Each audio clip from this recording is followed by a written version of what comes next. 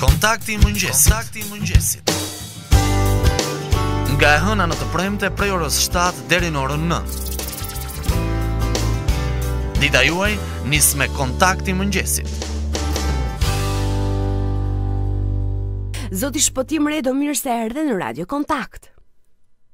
Mirëmëngjes, zonjusha Adhamani. Mirëmëngjes, faleminderit që pranove ftesën. Unë dua të të bëj pyetjen e parë kështu në mënyrë të drejtpërdrejtë për të mos humbur shumë kohë. Si është situata në Afrikë? Uh, situata në përgjithësi në Afrikë uh, është shumë më mirë se sa i përket uh, kontinentit të Evropës. Pra gjithsej në Afrikë deri në momentet që po flasim bashkë, numri i të infektuarve ka arritur deri në 19.000 në të gjithë kontinentin. Duke mos harruar që bëjmë fjalë për një kontinent prej 1.3 miliard njerëz me 54 shtete dhe nga këto uh, numri i të ndjerëve që kanë ndërruar jetë si pasojë e virusit Corona ka shkuar afro uh, 1.000 veta. E kuptoj. Zoti Redo, uh, OBSH-ja, jo më larg se para dy ditësh ka dalë në një deklaratë ku uh, ka, ka deklaruar pra një alarm nëse mund ta themi të tillë që Afrika ë është vatra e radhës për sa i përket koronavirusit. Shifrat mund të jenë më të larta sipas OBSH-së gjithmonë si pasojë e mungesës së testeve në Afrikë, Banka Botërore dhe Fondi Monetar Ndërkombëtar thonë se Afrika ka nevojë për 44 miliard dollarë për të luftuar COVID-19. Ju keni një koment për sa i përket? Po, të gjitha këto që thatë ju deri më tani, siç qenkeni dhe shumë mirë e informuar, janë të sakta, mm -hmm. ashtu edhe pritet uh, që të ndodhë, por nga ana tjetër nuk duhet harrojmë që Afrika ka një favor në këtë fatkeqësi, Afrika ka qenë e rrahur shpesh nga pandemi të ndryshme, mm -hmm. siç ka qenë Ebola, pra kanë një farë eksperience në menaxhimin e këtyre situatave. Dhe mund të them që deri tani për shembull në Kenia ku unë jetoj, që nga rasti i parë që qe më 13 mars deri më sot, mhm. situata është mbajtur goxha mirë nën kontroll. Kemi edhe këtu të ashtuquajturin lockdown që nuk lejohet që dalim përjashta mhm. dhe numri i të infektuarve brenda 5 javëve ka shkuar nga një që ka qenë më 12 uh, mars deri në 250 në momente që po flasim pra për 5 javë. E kuptoj. Megjithatë, kjo nuk do të thotë që s'mund të përkeqësohet situata. E kuptoj. Ndërkohë, jam shumë kureshtare të di për sa i përket masave të cilat tanimë janë në Afrikë. Sa i zbatojnë afrikanët masat e marra një informacion më të më të përgjithshëm për sa i përket kësaj pyetje? Në përgjithësi, në përgjithësi uh, ka një farë kulturë në zbatimin e rregullave se duke qenë se shumica e vendeve afrikane kanë qenë të kolonializuara nga Anglia atje, ka një një të ashtuquajtur respekt ndaj ligjit apo rregullit që vendoset nga shtetet e tyre. Por do nuk duhet të harrojmë që në anën tjetër kemi të bëjmë me ekonomi shumë informale, që do të thotë një pjesë dërmuese e njerëzve jetojnë sot për sot, pra çfarë fitojnë sot hanë edhe sot.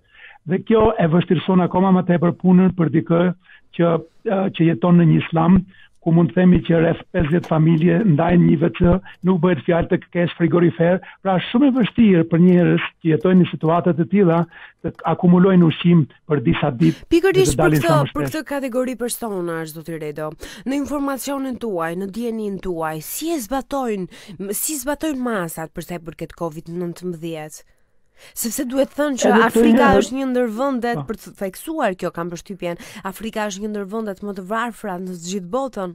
Kështu që Po, është e saktë. Po edhe në këto në këto vende që thashë për këto kategori njerëzish që po flasim bashkë, edhe këto janë mirë të organizuar, do të thotë që edhe këtu mundohen me aq sa mundin, por ashtu siç e cekët edhe ju në fillim, nëse do të kishte një përhapje masive në këto vende, në këto slame që thashë pak më përpara, do të ishte me të vërtetë një katastrofë e vërtetë njerëzore me përmasa të paimagjinueshme. Hmm. Kom, uh, qeveritë e vendeve përkatëse po mundohen që edhe këto njerëz të ndihmojnë, për shembull kanë dalë uh, iniciativa të ndryshme këtu në Kenia si adopto një familje në nevojë, ku shumë prej neve e bëjmë një diçka të tillë, duke marrë një familje, duke munduar që t'ia çojmë ushqimin që ato të mos dalin, sepse siç thashë pak më përpara, ato jetojnë sot për sot. ë uh, janë uh, masa që po merren, megjithatë po shpresojmë që edhe faktori kohë, duke ditur që Afrika ka një kohë një klimë të mirë, mhm. temperaturat tu ku jemi neve janë zakonisht e 30 gradë gjatë gjithë vitit, pra 13 gjatë natës, 30 gjatë ditës, mendojmë dhe shpresojmë më tepër është një dëshirë sepse nga shkencëtarët nuk është po. provuar një diçka e tillë që po. temperaturat ta fa, mos e favorizojnë përhapjen e kësaj. Është e vërtetë. Sëmundje. Është e vërtetë. Por duhet të kemi mhm. parasysh nëse më lejoni që ta cek që është më mirë të ngrihet një alarm përpara edhe të gjenden mjetet siç ka thënë edhe Banka Botërore apo të gjitha organizatat ndërkombëtare që në momentin e caktuar mjetet të jenë këtu, se sa të veprohet si në disa shtete që mund të përmendim edhe Anglinë apo Amerikën në fillim që u munduan ta quajnë si një grip të vogël dhe për, për, më, më pas u përballën me pasoja shumë më të mëdha. Kështu që është mirë që edhe Afrika po përgatitet në drejtim. Kam përshtypjen që u përballën me pasoja të mëdha për vetëm një arsye sepse nuk i zbatuan masat, për shembull Amerika e, Eksakt. Eksakt. Edhe edhe kjo gjë, kjo gjë sugjerohet edhe kjo gjë um, mund të ndodhë edhe në Afrikë, edhe, kështu thuhet të Po masat këtu, masat siç thashë, uh, mos harrojmë që shumica e shteteve janë edhe le të themi gjysëm demokratike. Ja, për shembull, uh, po po të jap një rast të freskët nga lajmet e mëngjesit sot sot në Ugandë Ishte arrestuar një u arrestua një deputet i kuvendit të Ugandës sepse kishte shpërndarë ndihma mm -hmm. në, në në atë rrethin e vet ku është zgjedhur ndihma ushqimore dhe kjo ishte kundra uh, ligjit që ka nxjerrë presidenti i Ugandës dhe si pasojë e tillë u quajt shkelje. Pra janë disa shtete të ashtuquajtura gjysmë demokratike ku rregullat tek e fundit pastaj vjen edhe forca në veprim për t'i zbatuar. E kuptoj, e kuptoj. Mirë, më cekët pak zoti Redo familjet në nevojë dhe unë dua të qëndrojmë pak këtu, sepse e, familje në nevojë ka në të gjithë botën. Pothuajse Afrika është një ndër ato vende që ne jemi mësuar të paktën me atë që lexojmë dhe me atë që shikojmë nëpër rubrika lajmesh, ë të shohim më, më shumë raste. që kanë që kanë nevojë. Ë qeveria në në Afrikë i ndihmon këto familje në mënyrë në mënyrë konstante apo? Qeveritë si, siç thatë ju këtu është shumica e familjeve në nevojë. Pra nëse flasim për për Nairobi, një qytet me 5 milion banorë, mm -hmm. mund të themi që 85% e popullsisë mund të konsiderohen si familje në nevojë. Mm -hmm. Pra sa i bie rreth 4 milion njerëz janë në nevojë. Qeveritë e vendeve afrikane siç thashë më përpara po ndihmojnë, po ka edhe shumë organizata ndërkombëtare bamirëse, të cilat janë me vite në Afrikë dhe janë shumë mirë të organizuara, edhe këto ndihmojnë vazhdimisht familjet familjet në nevojë. Pra, siç thashë, është komplet një, një pasqyrë tjetër në Afrikë sa i përket familjeve në nevojë me ato që mund të flasim në, në, në, Evro, në Evropë. Gjithashtu, siç e thatë edhe në fillim të bisedës tonë, që uh, sa i përket masave higjenike, sa i përket uh, testeve, sa i përket respiratorëve, bëhet fjalë për numra shumë, shumë, shumë të vegjët. Pra Kenia me një popullsi prej 50 milion banorë, flitej kur para se të fillonte kjo flitej që kishin në dispozicion rreth 229 229 respiratorë. Pra mhm. imagjinoni se ç'mund të bëhet për një popullsi me 50 milion të kesh 200 respiratorë, ka shtete që nuk kanë fare. E kuptoj. E kuptoj dhe që si për t'ju dhënë një përgjigje tamam pyetjes suaj, familjet në nevojë nuk janë se janë lëna të gjithë në mëshirë të fatit, është një kombinim i ndihmës nga qeveritë, një kombinim i ndihmës nga shoqata të ndryshme bamirësie, është një kombinim nga vet popullata e vendeve, për shembull Kenia ka filluar që filloi që kur ka filluar kjo virusi korona, ka filluar të mbledhi fonde mbrenda popullatës keniane dhe brenda një periudhe tre javore u mblodhën rreth 10 milion dollarë që u vuan në një fond për t'u përdorur për virusin korona. Zoti Redo, a janë të informuar këto familje në nevojë, a janë të informuar për sa i përket COVID-19, a kanë ata informacionin që u duhet? Dhe din ato se në çfarë rreziku janë? Jo në atë nivel, kjo është një pyetje shumë me vend, jo në atë nivel e, që që flitet në Evropë, pavarësisht se mediat edhe këtu po bëjnë të pamundrën, por mos harrojmë që shumica e këtyre vendeve nuk e, për shembull në në pjesët rurale të të aftë Kenjës mm -hmm. nuk ka elektricitet, po, po. pra rreth 20 milion kenjanë nuk kanë qasje fare në, elektri, në, në energji elektrike. Pra imagjinoni se si mund të informohet një person i tillë. Kur nuk ka elektricitet, si do të jetë ai informuar etj etj. Ë nuk janë shumë të mirë të informuar dhe kjo përbën edhe problemin kryesor më pas për mosndjekjen e masave të rregullave. Por uh, siç e thashë, Kenia ku ne jemi ka marrë, ka mbyllur qytete të tëra, pra nuk lejohet fare hyrja apo dalja. nga këto qytete. Dhe po mundohen, siç thashë zonjusha Dhamani, po mundohen me të gjitha mjetet që kanë në dispozicion për të mënjanuar një katastrofë të mundshme. Ju kuptoj. Unë në fakt dua të qëndroj edhe për pak minuta në këtë në këtë pyetje. Jo pa qëllim ju pyet, sepse vetëm vetëm ditën e djeshme jemi njohur me një lajm të fundit për sa i përket një proteste që është organizuar në Afrikë nga qytetarët për shkak të mungesës së ushqimeve dhe dislokimit të ushtrisë për të rikthyer uh, qetësinë. Keni informacion për këtë? E keni dëgjuar? Po, po kjo ndodhi në Afrikën e Jugut, më, uh mhm. -huh. ka ndodhur edhe në vende të tjera, por në Afrikën e Jugut ishte lajmi që ju po uh, po citoni në moment, shumë e saktë, siç e thashë edhe më parë, kjo lidhet me kushtet në të cilat këto njerëz jetojnë. E kuptoj. Do të thotë që ato nuk janë në gjendje, po flasim një familje që mund të jetojë uh, prej 5 ose 6 vetësh në një ambient me rreth 16 deri 20 metër katror, pra një dhomë. E kuptoj. Sa mund të bëhet fjalë në këtë dhomë ku ato flen, hanë, pinë, rrinë, e tjera të kesh mundësi që të kesh vend edhe për të mbajtur ushqime me një anë në një kohë që qeveritë përkatëse kanë mbyllur të gjitha uh, nuk lejohet dalja etj. Pra këto familje në nevojë janë të varura komplet nga ndihmat që mund të vinë nga jashtë, sepse atij nuk i lejohet që të dali të blejë. Po nga ana tjetër nuk ka asgjë në shtëpi. Pra është, është një rreth shumë vicioz, të cilën Po mundohen dhe sigurisht që ka ardhur tek ajo që që ju sapo përmendët, te revoltat, tek dhuna dhe kjo në të vërtetë është edhe diçka që neve të huajt që jetojmë këtu, mm -hmm. më tepër i trembemi sepse në qoftë se të vinte një revoltë mbarëpopullore, mm -hmm. mund të mund të bëhet edhe problem edhe për ne. Për shembull, shtetet e fuqishme si Amerika, kishim një, një çift shqiptar që punonin për një kompani amerikane, para dy javësh i i kanë evakuuar të gjithë uh, personelin e tyre që kanë në këto vende, masa parandaluese me një fjalë që nëse do të vinte një revoltë e tillë, Ato gjithmonë janë shtete të fuqishme, i kanë kapacitetet logjistike që ta bëjnë diçka të tillë dhe i kanë larguar njerëzit e vet nga Ata. nga Kenia.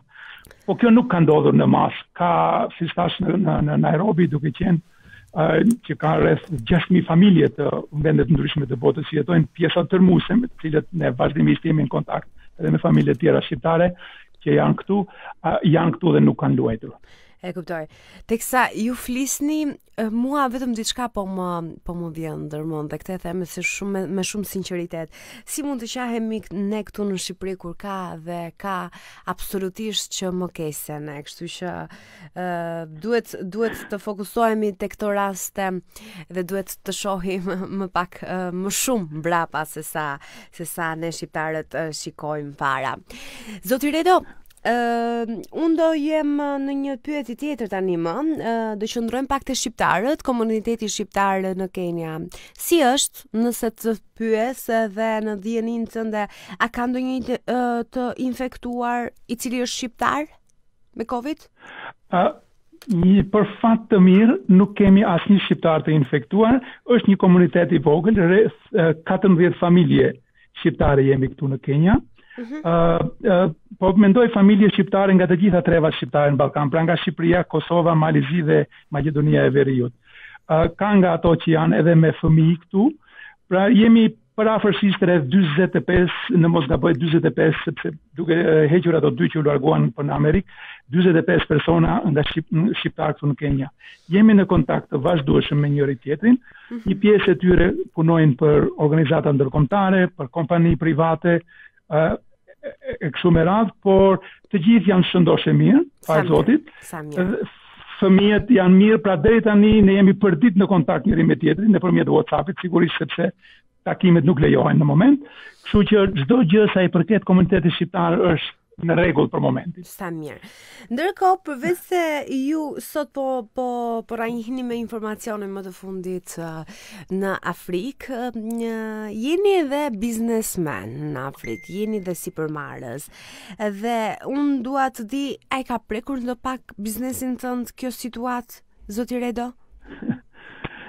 Jo ndopak, po e ka prekur komplet. Unë merrem, jam në, në fushën e turizmit, pra që në vitin 2012 merrem me turizm këtu në Kenya, në, në safari, të ashtuquajturin safari, njerëz që vinë nga mbarë bota për të parë florën dhe faunën afrikane, dhe për momentin biznesi është pothuajse është zero, sepse Janë ndaluar të gjitha fluturimet nga vendet e jashtme, vendet e tjera, të gjitha resortet turistike dhe lozhat janë mbyllur, pra mhm. në këtë moment është prekur shumë, jo vetëm biznesi im, por të vetmet biznese, si dhe në Europë, ose në vendet e tjera të botës që frekuent, që punojnë në moment janë ato të ashtuquajturat biznese esenciale, pra supermarketet ku blihen ushqime, këto telefonitë, kompanitë e telefonive e të tjera, po sa i përket bizneseve të tjera, të gjitha janë në nivelin minimum. Ndërkohë, edhe në këtë drejtim, vend me gjithë varfërinë, nëse më lejohet dhe ju keni akoma minutazh. Po patjetër, patjetër, patjetër që po. Ë edhe me gjithë këtë varfëri që kanë një pjesë dërrmuese e vendeve afrikane, megjithatë qeveritë kanë marrë shumë mundohen edhe këtu shumë masa në këtë drejtim. Për shembull, qeveria keniane i ka liruar të gjithë kompanitë nga pagesat e taksave për një periudhë uh, deri në një lajmërim të dytë. Ndërkohë janë vënë në dispozicion sa i përket njerëzve me një me, me të ardhurat deri në 100 edhe dhjetë, njerëzit me të ardhura deri në 110 dollar, 120 dollar në muaj, rrogë mujore, edhe ato janë liruar nga të gjitha taksat E kuptoj. Uganda për shembull ka marrë për shtresat në nevojë, uh, ju ka uh, nuk paguajnë as ujin, as qeran. Po flasim për qera uh, 30 dollar në muaj. Po po megjithatë këto shtresa për ato 30 dollar, në qoftë se dikush e ka rrogën 110, 30 dollar është shumë, kështu që i ka liruar nga këto. Ruanda nga ana tjetër gjithashtu në Afrikën Lindore ku ne jemi, uh, ka mundësuar duke iu çuar shtresave në nevojë, duke iu dërguar ushqim tek tek tek shtëpitë e tyre. Pra, pra mundohen me të gjitha mundësitë edhe opsionet që ato kanë në dorë, që edhe këto shtresa të mos i lënë, edhe bizneset mos i lënë. Po është, është në Kenya për shembull dy nga faktorët kryesorë që është turizmi një edhe lulet uh, se lulet e freskëta me fjalë trëndafila, gjithë të gjitha këto biznese në moment janë janë zero. Lule dhe dhe, po flasim, dhe turizmi janë zero për momentin që flasim. Po kom, janë komplet zero po. E kuptoj, e kuptoj, e kuptoj. Ndërkohë, ndërkohë ka dhe ka dhe biznese të cilat janë hapur apo jo. Dim që në Kenia vazhdohet puna ndërkohë për sa i përket sepse janë dhe zyrat e organizatës kombëtare të bashk të kombeve të bashkuara zoti Redo vazhdohet puna aty shumë e saktë shumë e saktë faleminderit edhe për këtë ju përgëzoj për gjitha informacionet që që që keni, goxha mirë interesuar për Afrikën po është e saktë përveç Vjenës, New Yorkut dhe Gjenevës këtu ndodhen edhe qendra e OKB-s sa i përket zyrës së mjedisit ka edhe 26 agjenci të tjera ndërkombëtare që punojnë këtu nën ombrellën e Kombeve të Bashkuara, të gjitha këto siç thashë pak përpara, përbëjnë një të ashtuquajtur rreth 6.000 familje të huaja, janë këtu, po punojnë, nuk është se shkojnë në zyrë, por punojnë shumica e tyre, punojnë nga shpia, uh, sepse siç thashë shumica e këtyre, kanë edhe projekte ndihmëse projekte bamirësie, dhe puna vazhdon, Puna vazhdon, por si në Evropë, siç thashë pak më përpara, janë vetëm ato bizneset që janë më të domosdoshme, që janë hapur, qëndrojnë hapur, dhe funksionon. Nuk është sepse ka ardhur te një komplet bllokim i ekonomisë, ose ekonomive. E kuptoj. Po për sa i përket uh, njerëzve në Kenia, flasim këtu meqenëse jemi në këtë në këtë pyetje. Për sa i përket njerëzve, a i zbatojnë karantinën dhe cilat janë masat më konkretisht, domethënë liridalja, diçka një informacion më më më më konkret. Po. A siç thashë edhe pak më përpara, po sigurisht që zbatohet ditët e para qe pak vështirë që të zbatohej. Normalisht. Por derisa njerëzit e morën vesh, u përdor, nuk mund të themi që u përdor, e, u përdor edhe dhunë, bile nga nga forcat e policisë. Patëm një rast shumë tragjik, ku një një fëmijë 13 vjeçar humbi jetën nga nga dhuna e përdorur e policisë, oh. sepse njerëzit akoma mblidheshin, grumbulloheshin për të shkuar në punë etj. Tani zbatojnë me përpikmëri, kemi një një mbyllje totale nga ora 7 e mbrëmjes deri në 5 të mëngjesit. Gjatë ditës lejohet janë maskat janë bërë detyrim për gjithë ato që kapen në rrugë duhet të ketë maskë dhe doreza të veshura. Mm -hmm.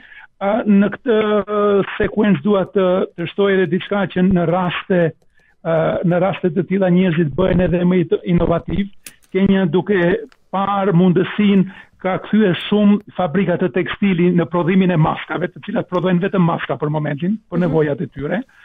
Gjithashtu, një lajm interesant që e, për, që përdora pak më përpara termin për respiratorët, uh, ishte që Universiteti i Kenjas, studentët e Universitetit të Universitetit të Kenjas kanë dalë me një inovacion të ri dhe kanë arritur që të prodhojnë një farë respiratori që është shumë më pak i kushtueshëm se sa respiratorët që vijnë nga vendet e tjera.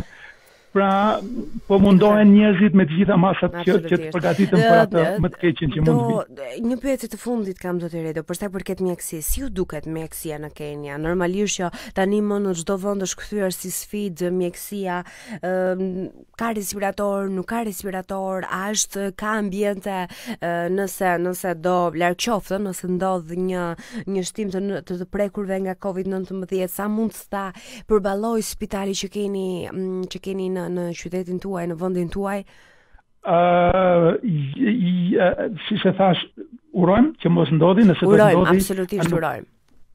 që mos ndodhë, nëse do të ndodhë spitalet këtu kanë kapacitete shumë, shumë, shumë të limituara. Kapacitetet i kanë të limituara në kohë jo pandemie, dhe mos bëhet fjalë më për kohë pandemie, në jo kohë pandemie, në spitalet, po flasim gjithmonë për spitalet shtetërore, sepse ka dhe spitale private të cilat po, si nuk kanë asnjë ndryshim nga një spital në, në Francë apo në Gjermani, por spitalet private Unë kam ndodhur shpesh që kam shkuar duke dërguar jo ose ndihmuar punëtorët ose me shoqatat e bamirësisë me të cilat merremi, uh, kam shkuar njerëzit në kohë jo pandemie janë të shtrirë nëpër sallonet e spitalit.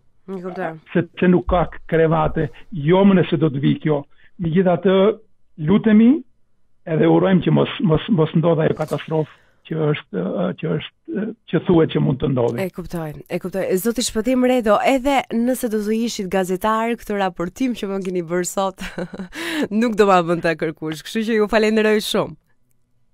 Faleminderit juve dhe po shpresoj po shfrytëzoj rastin të t'u uroj një ditë të mbarë të gjithë dëgjuesve të Radio Kontakt. Dhe me një urim zoti i bekoftë shqiptarët kudo që ndodhen.